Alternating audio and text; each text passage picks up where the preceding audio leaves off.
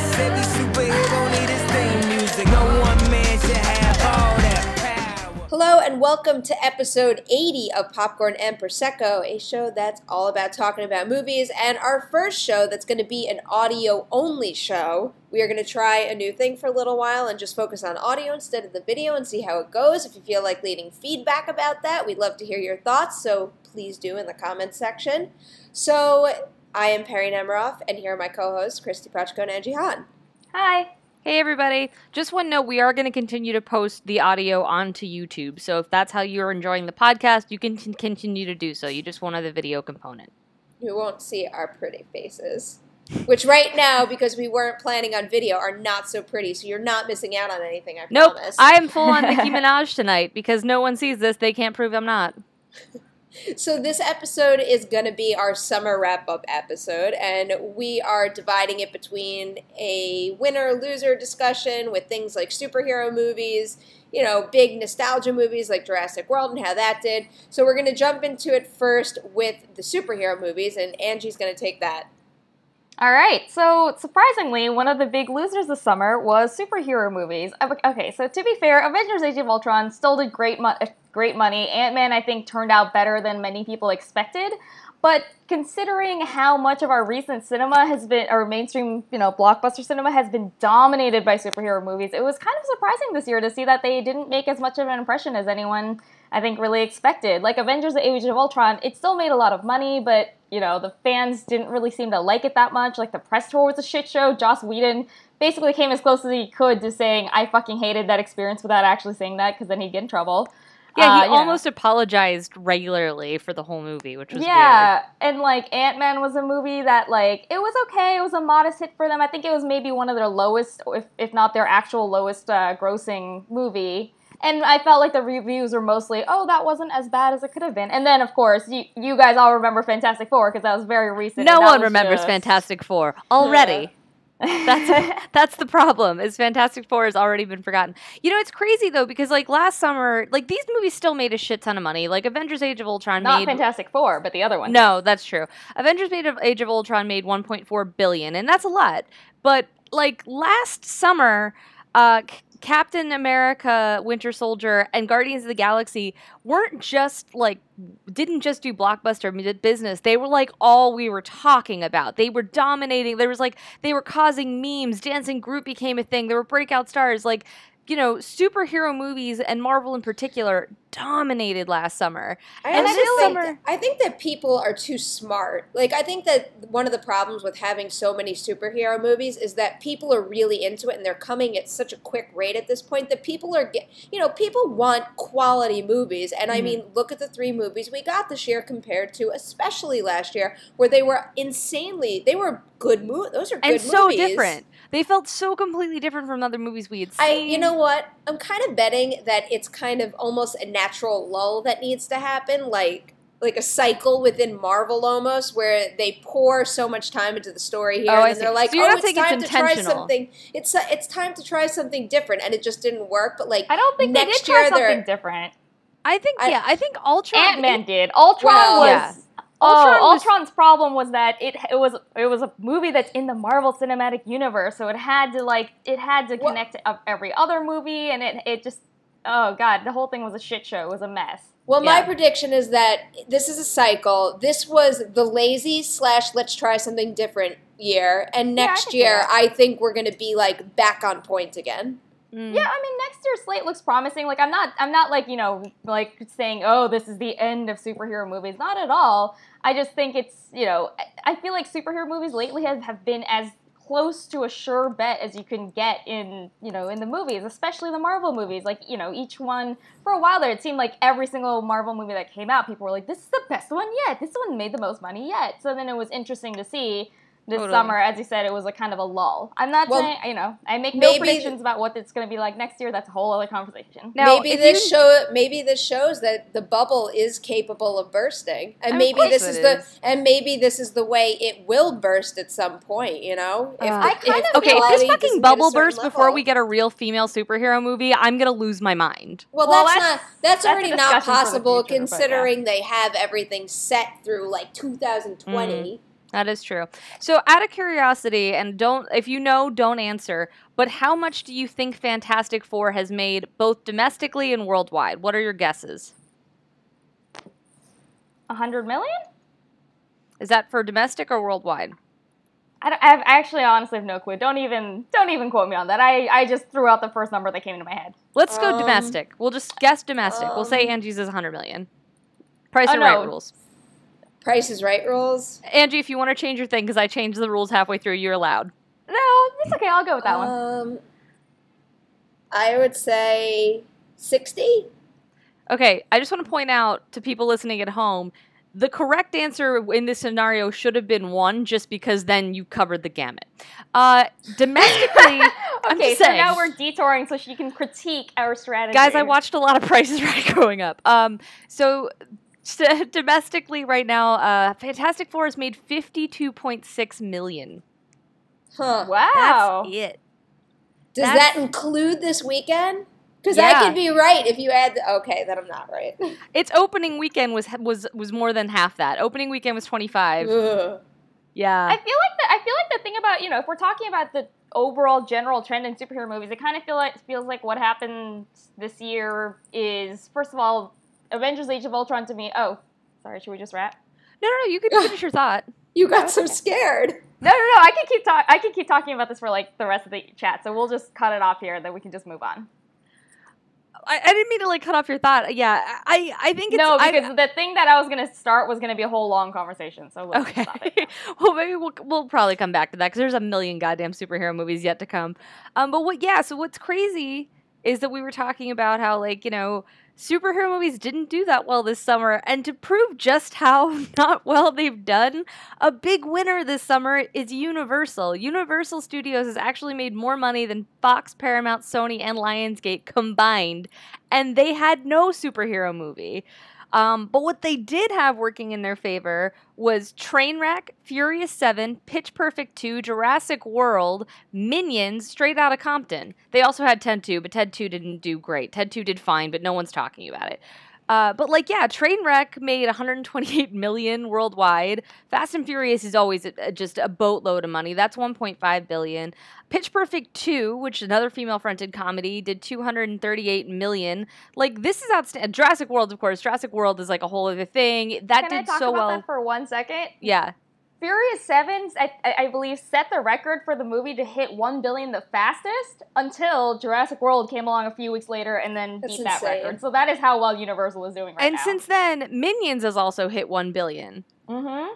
So like they've been tearing it up, and I think it's really interesting because if you look at their slate, you know, they're there's there's oh, and Straight Outta Compton did better than expected. Sorry, yeah, Straight Outta Compton did way better than expected. What's interesting is like this is a very diverse slate. Like yeah, you have Jurassic World, which is none of us were super big on, and like yes, it's playing really hardcore to a fan base that already exists. But like Trainwreck was a risk for them. Pitch Perfect two was a movie that people expected to do well, but I don't think this well. This did really well. Um, you know, this, and like this year, Universal crushed it compared to last year. Like, if you were wondering, I, I'm not sure if this is right because, like, uh, the box office mojo page isn't working quite right. But Neighbors was their highest grossing movie last year with 150 domestically. wow, Really? Wow. I mean, uh, if this is correct, I, I one one of their search features isn't working, so I altered the URL myself, so I might have screwed it up admittedly. But it said number one was Neighbors, then Ride Along, then Lucy. wow. Oh. Yeah, but I mean, as Is that domestic or international? These are domestic grosses. Okay, I was gonna say because I remember Lucy did super well overseas too. Um, yeah, it's crazy, and I mean the thing is though, I think Universal this year took some chances. They had some safe bets with Jurassic World, but then like they and Minions. And Minions, yeah, Minions was like a totally safe bet. Uh, but like then they did something like Straight Outta Compton, which was a movie that was like getting not great press for a while because it was having a lot of production problems, and they really backed it. And like Trainwreck, I think Trainwreck they were smart in that they they jumped onto Amy Schumer at a time when it was good to jump on her. I made that seem weirdly sexual. Uh, was just but, like, she, that, but I she would Amy probably be fine that. with that. Yeah, Yeah, really. Probably. But like this was kind of the year of Amy Schumer, which is awesome because like I've been watching Inside Amy Schumer for a couple of years now, but it seems like this was the year a lot of people who had never heard of the show were like finding out about her in season three. And like she was handling trolls with aplomb, the 12 Angry Men Inside Amy Schumer. And it was like all of that played such a great lead up. And then they showed Trainwreck, Trainwreck at South by Southwest where it was getting huge reviews. And then they finally opened and it just, it, it made crazy business. And she handled those junkets like a pro. Like even when people said really shitty things to her, like it just really sold. And then she just had the coolest summer ever on a random tangent where she became friends with Jennifer Lawrence and just gets to be Right. everything to everyone. Um, like, but yeah. I mean, as you said, it's it's a really diverse slate, and you know, I do mean that in terms of like you know gender and race, but also just in that they're all really different movies. Like I feel like I feel like so many studios during the summer they bank on you know things that are they bank on superhero movies and things that might as well be superhero movies basically. So it was really interesting to see them come out with like, oh yeah, we've got a musical. We've got a musical biopic, you know, we've got like a comedy. It's like not just, you know, the big Two action R-rated movies that we associate with summer and it's and it has worked out great for them. What did Universal bring to Comic Con this year? Do you guys happen to remember? I don't remember. I was all. just like, try- I'm just trying to figure out what like the Were they there? Yeah, eh, which is like a funny thing, you know, like the most successful studio of the I don't know if year, they were like didn't even have a presence at like that event that's supposed to kind of like set the tone for so many months to come. I love that. Like they basically, it's oh, crazy oh, because Cri- it was Crimson Peak. It was the legendary stuff. right. That was theirs. Right, so they were really building for fall because it was Crimson Peak and something was with Crimson Peak, but nothing that had opened yet. Hey, you know, maybe that's the way to do it. You I- know, I, no You- complaints, use, man. Use Comic Con to have an even stronger fall rather than you know putting all your marketing money into Well, because that are remember going to last come way down summer- the line. And I'm gonna forget the studio off the top of my head. I'm gonna look it up while we're talking. But last summer, uh, the Rock's Hercules did a thing at Comic Con Paramount, and like that didn't help it at all. That No. that movie just couldn't get Yeah, anybody to but pay attention. actually, didn't that movie come out like right during Comic Con? yeah, it was really strange where they were I feel like nothing that comes out the weekend of Comic Con ever does that well. I feel Yeah, like it was a- if, it was if a you're weird- selling it, Except you're for selling Minions it, uh, this year, actually, because Minions was for a different crowd. If you're selling it if you're selling it at Comic Con right before it comes out, then it's really too late to build that build that much on buzz. Honestly, Mhm. like for example, Man from Uncle was there for Warner Brothers this year, but it was mostly because you know they already had Henry Cavill there. And Right. wasn't Well, wasn't a thing that like none of them were interested in talking about it anyway. It probably wasn't such a great I remember selling seeing the tool. photos and they all look so bored, which is probably honestly just them being tired because Comic Con, yeah, is exhausting. I know I apologize to most of the people I interviewed for being tired, and they were like, "It's cool, I haven't slept." And I was like, "Okay." Some pe- some some people are better at the Comic Con panel than the others. The other thing is, you know, maybe Jesse Universal was- Eisenberg.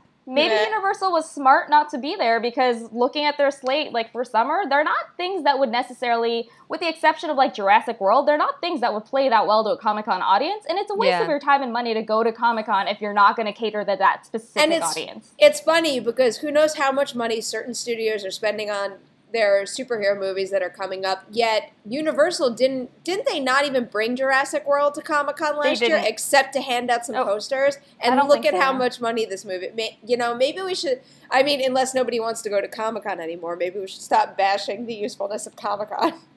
No, I I, I, like had Comic-Con. I an amazing a- time, and I think, think- all of the look. things I covered will be super popular forever. Okay. Comic Con is a great buzz builder, and it did a lot of great things this year. For example, for Deadpool and for Suicide Squad. I'm not knocking That's it. true. I'm saying No, though that's that totally it's a true. great. You have to know the audience, and you have to be bringing something that the audience is actually going to be excited about. Otherwise, it's a waste of everyone's time. That's And I think you're show. right. Universal played well to that because by bringing Crimson Peak, Peak, you bring Guillermo del Toro, who like, He's the king of Comic Con. yeah, Yeah, he's really. outstanding. Yeah. All right, so now we're going to move on to our third section, which is a section that has both winners and losers in it, and we're calling this the nostalgia section. So, first off, let's talk a little bit about the losers. And I mean, clearly, a loser is Terminator Genisys because one, it sucked, and two, it made 155 million. No, that was its budget. That was its budget. Jeez. Yeah. 89 million domestic and 352 worldwide. Ooh. Man from Uncle made I can't believe I haven't looked at that number. Man from Uncle has only made 29 million to date. Kristy, is that worldwide or domestic? What the fuck? Let me have a double check. Actually, I meant to make notes. Oh my god. I know, and you know, the, it's it's it's it's not necessarily a reflection of these being bad movies. Like Man I from loved Uncle's- Man from Uncle. That's true. Perri's in the trailer for that. I, I, forgot loved. Man from Uncle. It uh, shows how much my Lee poll Jones is not quote that is You know what? It's Jesus. been updated since since I made these notes a day ago. It is now that's 34 million domestic. Well, Worldwide, it's saying 70 million. Oy Oh. Yeah, and for the record, the the uh, the budget they're copping to is 75 million, which I Oh. think is bullshit. I think that- it's bullshit too. The, Yeah, the third one we that. have in this section is Poltergeist, another one that I loved and didn't Yeah. do too well. That one has 95 million worldwide, 35 million, uh, oh, 35 million budget. Uh, it was.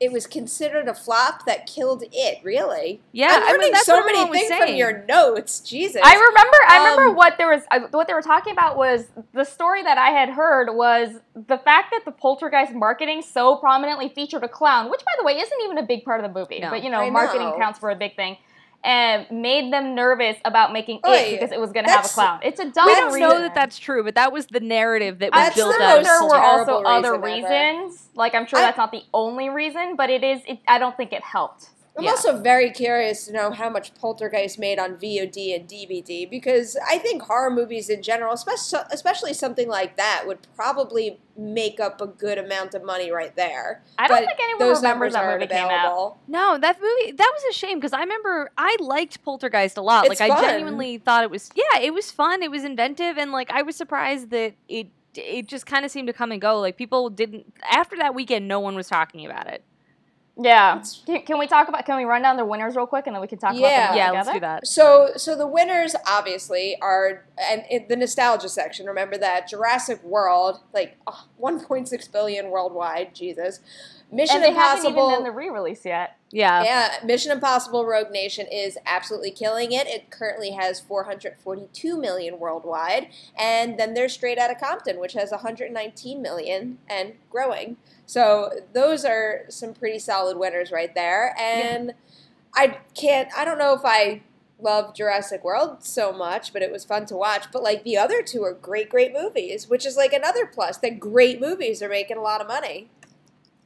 I like that they're good movies and they're making a lot of money, but it's really interesting because I feel like so much of what studio when studios plan things now is based on oh we need like a familiar name to like Mhm. market off of. Like it's you know like you'll see over over and over where they'll come out with a movie that didn't really need to be named after anything. Man from Uncle's a good example. Like that you could have just had a spy movie set in the 60s. It didn't need to be named Man from Uncle, but I think that maybe sometimes they put more weight in the nostalgia factor than it really warrants because as we've seen, there are movies like people like Man from Uncle back in the 60s and Yeah. people like Terminator and people like Poltergeist, but you they have to be if you're going to try to bank off of that, it has to be something that people actually want to see a movie about today. Well, also, Man from Uncle tried to play to teenagers because they made a PG 13 movie called Man from Uncle, and it was like none of those kids knew that was a movie to begin, like knew that was a thing to begin with. Like my parents were like, "Oh, I remember that Man from Uncle was a thing," and I was like quizzing my mom on it mostly because I was like, "What are you like? I've never watched the show and I don't intend to, so tell me things." And I did laugh because she said I didn't watch it much, but one thing I did like was she said that. She said she thought the American guy was supposed to be the guy you have a crush on. She goes, but I always thought the Russian had mystique. And I was like, agreed, mom. Based on the movie, agreed. So I guess they got I don't right. even think half the people involved in the movie even like considered the fact that it was based on a TV show. And I, it's It was a it's no, bizarre we should. choice. It I just mean- did. It didn't. Other than the name of the movie, it didn't really seem like a priority to, you know, is- even release a featurette like, oh, running down, you know, the old shows and highlight moments. You would think you would think they would do something like that, but they didn't really pay well, much attention to it. nostalgia for the show, like the movie has a nostalgia for 1960s movies. Like it reminded me a lot of Audrey Hepburn stuff from the 60s. But again, like I didn't feel like it played with that in a way that seemed engaging to people.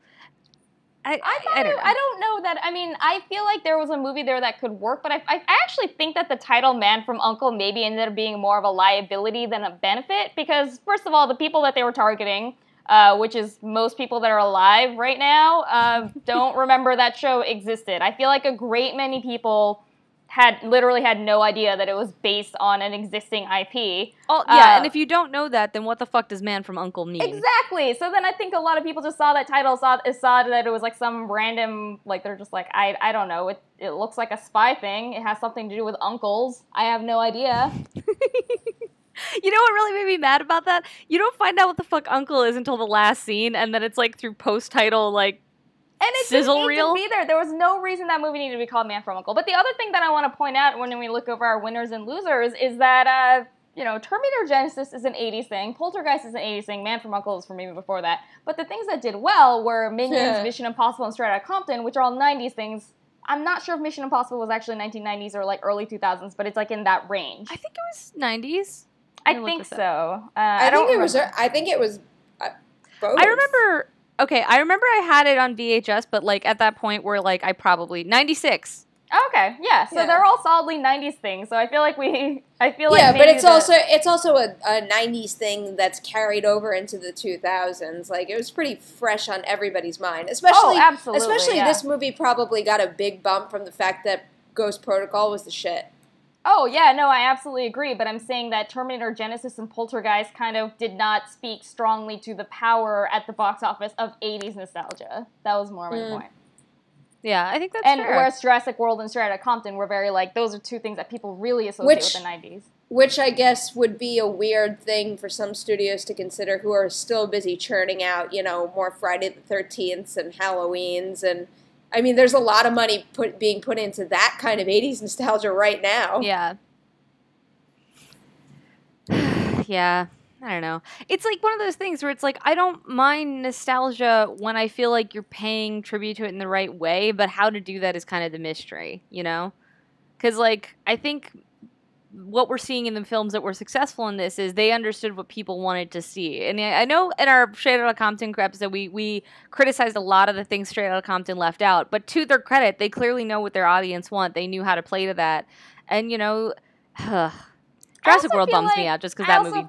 I mean, like Poltergeist was a movie that I remember. Basically, everyone I know who actually was like had lingering affection for the original movie was like pissed off that there was a remake. You know, like Jurassic World, people were like, "Oh, that's fun. I want to see more dinosaurs."